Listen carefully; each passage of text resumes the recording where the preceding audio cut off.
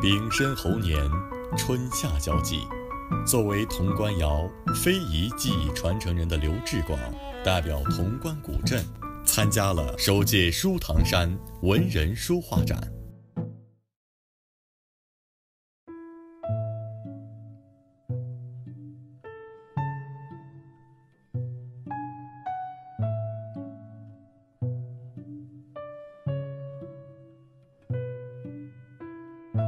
早在殷商时期之前，舜帝带领先民在湘江之滨开始了制陶之业，千年来窑火不断，十里陶都百座龙窑，万名窑工。曾经的繁盛，铸就了如今被称为全国五大陶都之一的潼关古镇。手工制陶师刘志广，已经跟泥巴打了半辈子交道。身为湖南省陶瓷艺术大师的他，在潼关老街开了一间名叫“广华新”的陶艺店。这在当时，也是老街上的第一家陶瓷店。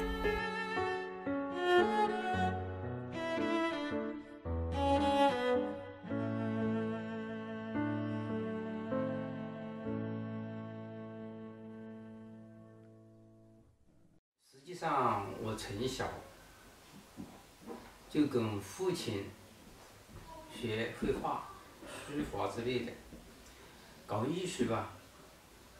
那个时候还不觉得是搞什么艺术，只是觉得挺好玩的，是吧？慢慢的大了，嗯嗯，像那个做陶瓷，也很好玩的，是吧？嗯，觉得陶。是很有生命力的，是吧？你看上去陶子是一朵泥，但是它能够随着你的心灵、思想的灵动。在刘志广很小的时候，父亲教他画山水画，一山一水，一草一木，逐渐激发了他对艺术创作的热情，为多年的陶瓷创作。打下了基础。对我产生很大的影响，应应该是我父亲，因为他影响了我一生。从小就教我画、写写字，嗯，因为是很多年的那个有有个墨染啊，导致我从小就爱上了。好艺术这条路。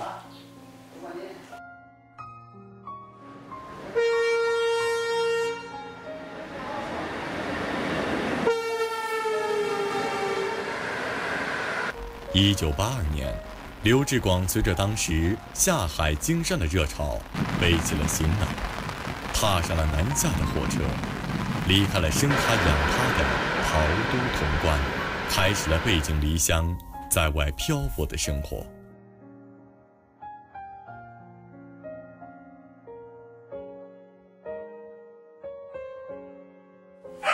我们出去打工的话，是当时是因为体制改革吧，啊，改革吧，呃，大部分人都出去打工了，有一点积蓄的都出去了。匆匆十六年，人生已过去近半载，故乡的陶土呼唤着离家的游子。刘志广背起行囊，回到让他魂牵梦绕的潼关镇。而这一次，他决定奉献给陶都的是一生。一路过来吧，从二零零五年，刚开始起步是很艰难的。嗯，因为我们在外面也是开了厂，开厂是因为遇到了金融风暴啊，那厂都关门了。嗯，自己的积蓄也不多，回来之后进行创业的话是很艰难的。然而，创业之路远比想象中的要艰苦得多。刚起步的时候，陶器厂规模十分小，再加上天降灾害，让陶器厂雪上加霜。但刘志广没有产生退缩的念头。是厂房，啊，也做，呃，工人的工资是吧？呃，嗯，再加上你开始对制作铜管窑的那个技艺还是嗯没有掌掌掌握好，所以比较艰难。嗯，在家之呢。那个水灾，水呀涨到厂厂里面，那把窑炉都淹掉了，呃，那个 PET 啊和那个原材料都都被淹掉了，嗯，后来又是那个雪灾，嗯，举步维艰。他。仿烧的仿烧的东西不是，呃，做现代陶瓷，嗯，也不是现代工艺，要用现在的方式来还原于古代的那个制作，是不是一件很容易的事情？毕竟是一千多年的东西吧，你要还原到一千多年的制作方式的话，是一个很漫长的过程。我们经过十多年的，嗯，今年到应该是一四一年了啊，从二零零五年到现在，嗯，技术也比较成熟了，嗯，我还写了两本书的话，一个是就是铜管窑的那个，诶，拉拉坯计划和那个。釉下多彩的那个，嗯，诶，绘画形式。我们在二零一零年的时候，政府的扶持力度比较大了，大了的时候，我们才开始有有所起色。呃，特别是对我们这些做陶瓷的呀。哎，每年都一点那个补贴，哎，补贴，再加之那个人流量比较大啊，这里铜管窑的宣传力度比较大，哎，游客也比较多了，嗯，我们就开始做一些那个旅游的产品啊。后来，甚至有景德镇的商人来到刘志广厂里进购陶瓷。当时交通不便，他们只能夜宿刘志广家中。第二天带走了大批陶瓷，让潼关窑的陶瓷在当时被全国各地更多的人了解。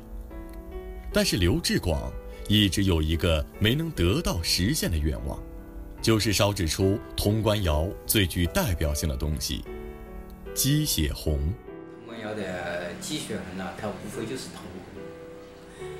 铜红，它是在氧化验证，它就是绿色的，在还原验证它是红色的，啊，为了能够充分掌握好这个鸡血红的那个烧制方法，有时候晚上都睡睡不着觉。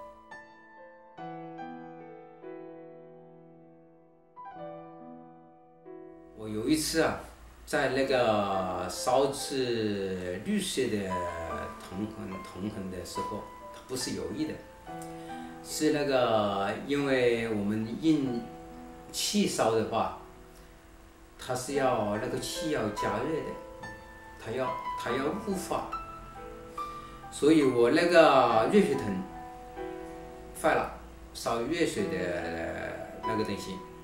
所以那个窑炉啊，一下子就没办法掌控了，烧到那个窑的那个管道啊都发红。那个我因为是从屋顶上嗯吃出去的那个伸出去的那个管，一下子把那个嗯盖瓦的那个悬皮啊，都都烧圆了，很很吓人的。突如其来的事故打断了鸡血红的烧制，刘志广立即停下所有窑炉的烧制工作，驱散了工人，还有妻子和孩子。尽管灭了火，又重新点燃窑炉，但情况却依然得不到控制。后来我搞了两个热水瓶，然后用那个液化气的那个灶都拿起出去了，放在底底下烧，烧了之后就慢慢的、慢慢的就平稳了。平稳之后，后来那个窑啊。一出来，我第一眼看到的就是那个壶，那个壶真烧出来真是是太漂亮了，一看就是积雪。插花应使花羞涩，韵如雨后霁霞红，千锤百炼，气满红炉，鸡血红，终于以最耀眼的姿态。在刘志广手中诞生，所以我这十十来年里面，真的烧出的那种器物是，我现在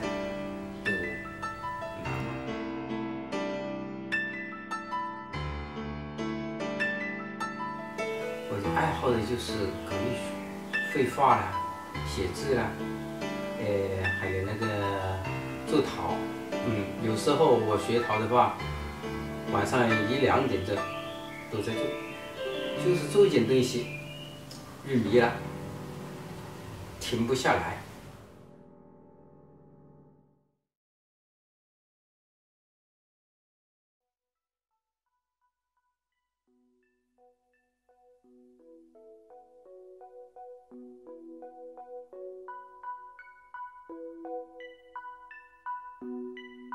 刘志广的妻子陈月华是一名陶艺老师，周末会在潼关老街给孩子们上陶艺课。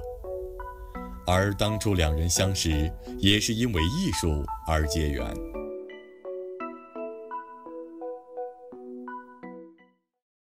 我们认识的话，实际上他知道我绘画，我们因为从小就绘画，他。